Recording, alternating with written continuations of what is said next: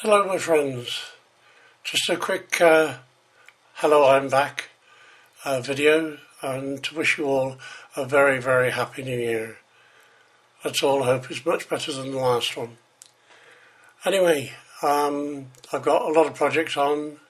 Uh, I haven't been uh, lazy, well, might be in my grooming, um, but uh, in my projects I haven't been. I've been doing quite a lot with electric bikes and hopefully uh, I'll get some of it on video. But anyway, I just wanted to pop in and say hi. I'm still alive, and um, I'm going to try for a video every Friday. But I promise you this: I will be uploading once a week at least. All right.